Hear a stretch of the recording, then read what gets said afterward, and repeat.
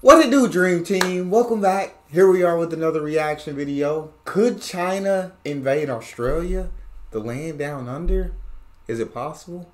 Let's find out. Before we do, make sure you subscribe, ring notification bell, give the video a thumbs up. Let's hop right in. An alarming warning tonight that Australia could be facing the very real threat of going to war with China within three years. There is at least Wow. a 50% chance that Australia will be drawn 50? into a war over Taiwan within five years. In recent months, Australia's been bombarded with terrifying headlines about the threat of invasion from China, with pundits warning of cities falling, missiles raining, and all the restaurants in the city being forced to stay open as late as the ones in Chinatown. we even had a candidate for Prime Minister running ads laying out the exact airstrip that China was going to use to invade this country.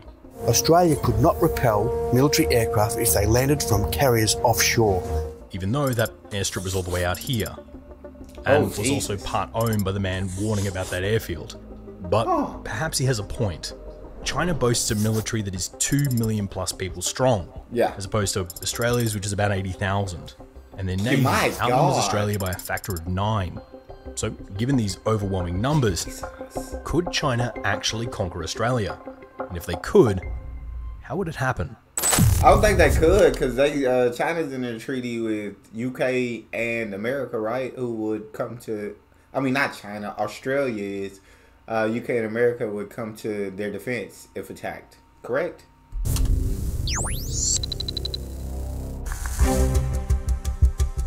So, for the sake of the argument, let's imagine a scenario where Xi Jinping ignores Taiwan and instead resolves to invade Australia. Okay. After all, who doesn't love Tim Tams? Everybody. And on that assumption, We all let's 'em. actually take a look at how all of this would actually unfold. Hmm. Now, ideally, if you're invading a country, you try and do so with the element of surprise, catching your enemy off guard before they've got into their defensive positions. For sure. Now, modern surveillance makes this difficult at the best of times, and it means that for China, an airborne landing is probably the best option. Planes, paratroopers, you get the idea.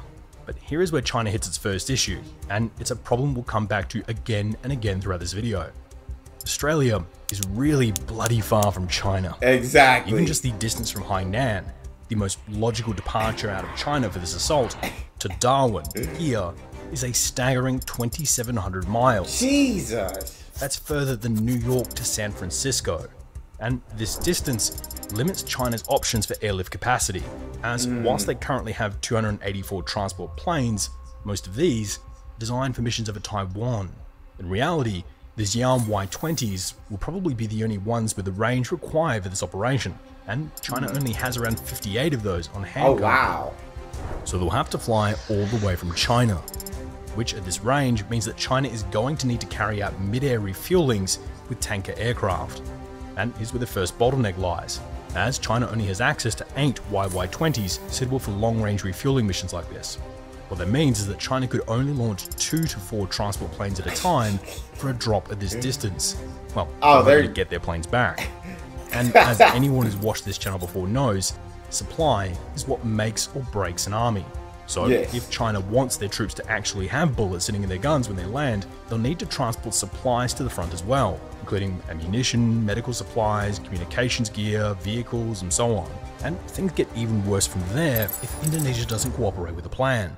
Hmm.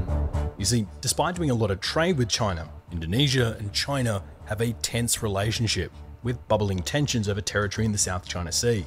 And wow. if Indonesia denied China overflight rights for their operation, well, then the Chinese Air Force would be forced to detour all the way out here, past these Solomon Ah. Islands, lengthening that route to over 6,500 miles each Oh way. my God. That's a distance comparable to going from San Francisco to Kiev.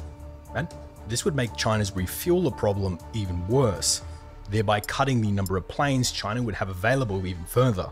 To, It could also say goodbye to any element of surprise, as Australia and its allies are pretty likely to notice all of China's transport planes Yeah. and refuelers congregating around a few runways in Hainan. big time.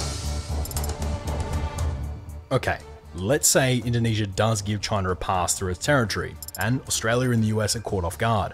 For China, the key question is then where to invade. Now, they'll probably want to place their troops as close as possible to China, which means that Australia's northern regions emerge as the most logical targets. Okay. Even though this invasion map also lines up nearly perfectly with the distribution of our nearly bulletproof saltwater crocodiles. but from here, of our nearly bulletproof saltwater crocodiles. Uh, it it just geographically, it just doesn't seem possible for China to catch Australia off guard and be able to invade Australia. Three main options emerge, the first of which is here in Broome. However, whilst Broome does possess a decent airfield and a fairly active port, this remote location poses significant logistical challenges for an advancing army, as we'll unpack a bit further in a moment. The second option would be here in Cairns, Queensland, a territory often equated to the Florida of Australia, and whilst it would give China a place to land, it doesn't have the strategic or economic value to it that the other two options do. Ah. Plus, plopping your troops down here would also mean you'd be forced to live with Queenslanders. the third option would be here in Darwin, the capital of the Northern Territory. Now, Darwin is not the largest city in Australia, but it's an hmm. attractive target for China because it's home to Australia's Northern Command.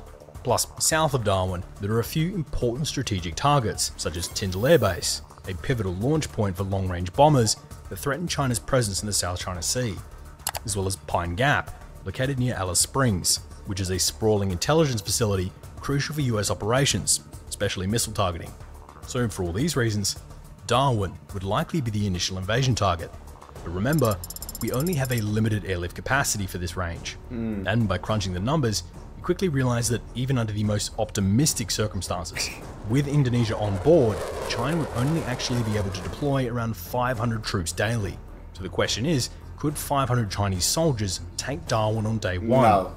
Well, it'd be pretty tough, considering that the No. city serves as a base for HMAS Coonawarra, Larrakeyah Barracks, and Robinson Barracks, and is fortified with the presence of the 1st Armoured Regiment, equipped with M1 Abrams tanks, the 5th Motorised Oh Battalion, God. the 1st Battalion, and two regiments of combat support, as well as the Royal Artillery Regiment and various aviation regiments, with additional air support also coming from Tindal. On top of that, they'd also have to deal with the 2,500 Marines stationed here at the moment, as the US maintains a routine rotation through Darwin as well. So invading Darwin would also likely mean drawing the US into the war as well. In fact, those 500 Chinese soldiers would be even outnumbered by the number of local security guards here in Darwin, who in actual fact have probably even seen more combat than the Chinese Airborne Corps has, simply having worked on Cheap Tuesdays. I love the little like funny remarks he throws in. He does not just like a serious video where he's basically explaining geographically it's basically impossible for China to attack Australia and catch it off guard and to invade. Uh, couldn't couldn't happen. Couldn't do it. Uh, but he's also throwing in the absolutely hilarious remarks in there that keeps the video entertaining as well. So I love the way he does this. But okay, let's say China wins the battle for Darwin. What happens next? Perhaps a bold move south to remove the threat of Tindal Air Base. But traversing the Australian landscape presents its Oh. own set of challenges. You see, most intercity connections in Australia are characterised by expansive open terrains and single lane highways. However, whilst this vast openness might be incredibly scenic, it also makes satellite detection and aerial targeting ridiculously easy. Something that, That in this makes scenario, the US and Australia would be more than happy to demonstrate to the Chinese forces. Just the geography in this region itself also removes any chance of surprise. As you see, hmm. whilst usually you can never quite be sure where your enemy's about to strike, in Australia, hmm. once you're on the highway, we kinda know exactly where you're headed. And can probably easily resupply that area whilst you make the long journey there. To explain, let's say you arrive here. If you take the road south, well, then we know you're heading for Tindal and Pine Gap. If you take the road west, well, then we know the objective is clearly the mines in Western Australia. Or go east, Okay. and we'll know you're using Apple Maps and Australian Internet. And remember that Go east and we'll know you're using Apple Maps and Australian internet. On top of all of this, Darwin, whilst a significant capture, is still a very isolated city, with the nearest major strategic city being Perth, located Oh nearly gosh. 2,500 miles away, leaving us plenty of time for local forces to begin preparing defences Yeah. and get in some target practice. But I can hear you saying, well, can't China's navy help with all this? Can't its aircraft carriers and ships help with the supply problems as they push down the highway? Well, remember back to our first rule of invading Australia. So, unless you're going to have ships that are already here with another convoy on the way, that distance means it will likely take up to three weeks for the supplies to catch up. Jesus. Meaning that the soldiers that China landed on day one may be waiting quite a while for the help to arrive. Yeah. And burning through their original ammunition and supplies within just a few days, which, as we know, is a bit of a problem. You see, the Just Chinese bit- Navy is designed to operate near its own coastline, usually within the Taiwan Strait or the South China Sea, where they enjoy the protective umbrella of missile defense and anti-aircraft batteries from the mainland. So operating in Australian waters would leave the Chinese Navy comparatively pretty exposed, and a mighty tempting target for the US Navy. Also, the Australian Navy isn't anything to sneeze at either, as Australia prides itself on having a robust naval force, primarily stationed in cities like Perth, Melbourne, and Sydney. And if there was an invasion, these fleets could be swiftly moved in, being likely interspersed within maritime choke points like the Strait of Lombok, the Torres Strait, or the Timor Sea, all of which would buy us just enough time until our insurance policy rocks up.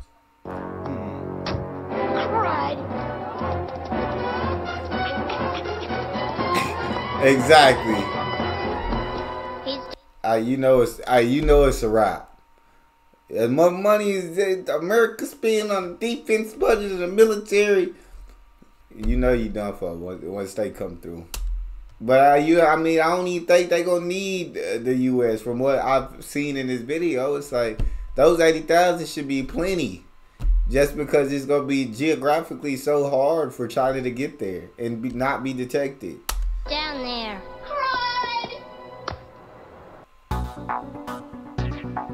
So, there you have it. Despite what this military genius might have you believe, invading Australia successfully would require you to maintain the element of surprise, which is virtually unattainable. They'd have to Yeah. get their invasion troops all the way to Australia, despite the shortage of transport aircraft and the aircraft to refuel those transport aircraft. They need to get Indonesia on side, even though they threaten to invade them. They need to take the city of Darwin, somewhat outnumbered, and then advance another casual two and a half thousand miles through the desert. Yeah, not before they can finally take the capital and realize how boring our capital really is. and they'd have to achieve this all while their naval resupply is extremely vulnerable. So, if China wants to carry out a costly invasion and destroy their military doing so, they might as well stick to invasions closer to their own home. As an invasion of Australia is frankly fanciful, and to be honest, hardly worth it, as they kind of already have our money anyway. So, China would have a pretty hard time taking Australia, but there is another island a little closer to China that they would have a hmm. much easier time with occupying. No, it's not the one you're thinking of. So, if you want to learn more about that, click the box here. Yeah, it's, I mean, so China just, I mean, can't do it. You can't do it, China. It's not possible. Can't invade Australia. Not today. Uh-uh. But that's all we got for that video. Absolutely loved it. Uh, if you guys enjoyed that, though, make sure you check out this video. I think you'll enjoy it as well. It's your boy D Neal. Out.